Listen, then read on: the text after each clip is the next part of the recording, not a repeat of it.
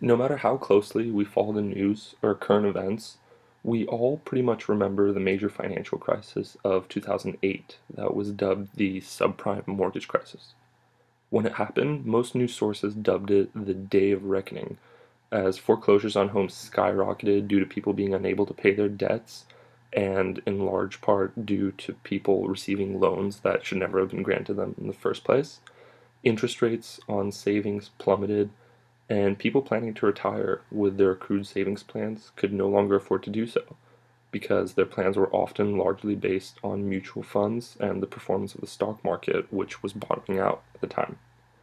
Yet, with all this turmoil and aftershock from what was often simply defined as quote unquote corporate greed, many people were still unaware of what really happened and why our economy was sinking.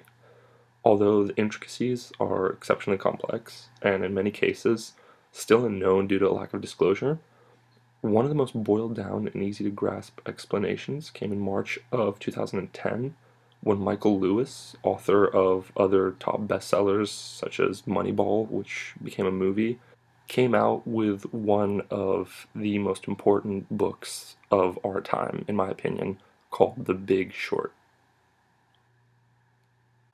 In an industry that is predicated on confidence in being able to accurately predict future value, hindsight is nothing short of 2020. If you are going to look back at some of the post-crisis analysis, pretty much every major news outlook refers back to the situation as something inevitable that they had foreseen years in advance. But Michael Lewis not only sheds light on the issue, but also presents us with real examples of individuals who saw this coming and were actually able to profit off of it. Lewis, a journalist and writer, whose previous books include Liar's Poker and The Blind Side. Welcome to you. Thank you. Your way into this is not the big epic sweep, but these few characters who were running against the pack. Why was that a way in? Well, uh, it was.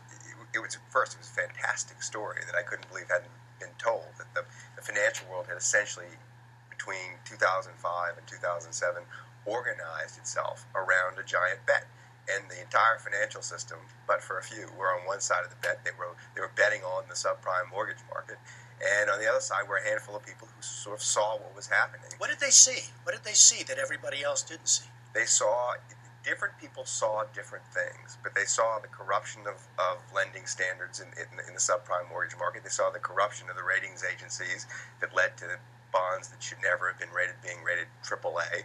They saw they saw the they saw the investment banks, the large Wall Street firms, which had always kind of been the smart money at the table, becoming the dumb money at the table.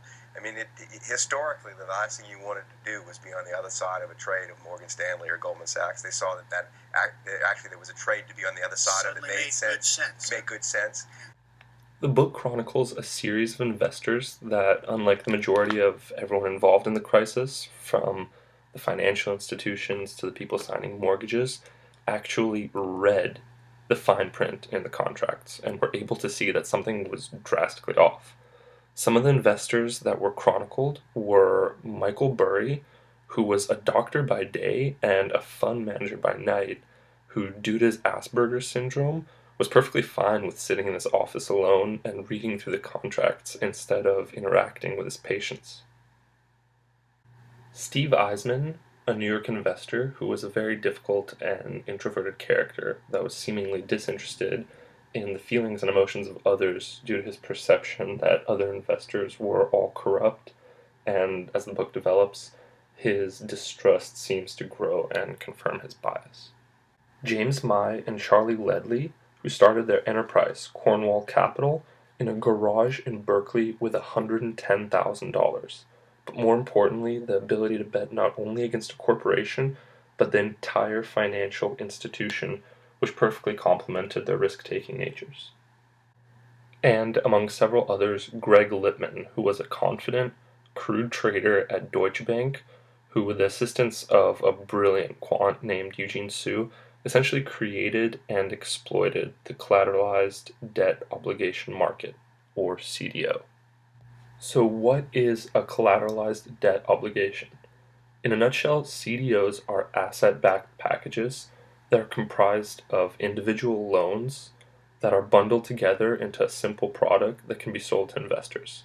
These types of packages are made up of auto loans, credit card debt, corporate debt, and as the coup de grace in this particular scenario, mortgages. As many of the financial institutions figured, it would be most profitable to bundle mortgages by the hundreds or even thousands, because that would provide hundreds or thousands of times over more cash flow than trading individual mortgages. Each CDO was split by layers, also called tranches, determining its riskiness, with AAA rated bonds having the lowest yield due to their alleged safety, and BBB rated bonds having the highest yield due to their high risk of default. Once the profit potential of CDOs was recognized, many ratings agencies like Standard & Poor's were easily manipulated into taking toxic triple B rated bonds and labeling them AAA. The problem, Lewis explains, is that these CDOs became so complex that buyers didn't really know the value of what they were buying. They relied on trusting their consultants and bankers to do the research, which, as history shows us, happened to fail terribly. What the aforementioned investors managed to do was little other than due diligence, and upon realizing that the loans that were being made were often as toxic as they could possibly be, with debt being incredibly easy and cheap to accumulate, and the borrowers extremely likely to default, people like Burry, Eisman, and Lippmann bought credit default swaps from firms such as AIG, who were essentially convinced that housing prices would rise infinitely. These credit default swaps that were bought for a small fee were basically nothing other than insurance that they were buying in case a bond would default. Essentially, this was a bet against a market that was assured that housing prices would never go down. But default they did, big time. In many cases, in reading the fine print, if even one person defaulted on their mortgage out of a CDO comprising a thousand loans, the entire thing would collapse. So, while the handful of investors that Lewis chronicles were reading the fine print of their contracts and logging long hours in at the office, many of our largest financial institutions were trying to maximize what they were certain was foolproof capital accumulation. People like Michael Burry knew that the entire industry would collapse. They just didn't know when. So they spent their time trying to handpick the most toxic CDOs that they could find and then purchasing credit default swaps on them. When the dust cleared, the people chronicled in The Big Short emerged with millions, if not billions, of dollars for doing what they simply should have been doing the entire time, while our economy was in ruins. The title The Big Short refers to the actions taken by the book's main figures. In financial terms, shorting something is making a bet that its price or value is going to go down. Although the full range of the meltdown was extremely complex, Lewis manages to portray it in a way that anyone can understand. This book, which was on the New York Times bestseller list for 28 weeks, puts on a full display of the contrast between diligent hard work and the consummate quote unquote greed, and has since opened the eyes of countless members of the public as well as the financial and governmental sectors, and showed the outcome of what happens when the two collide.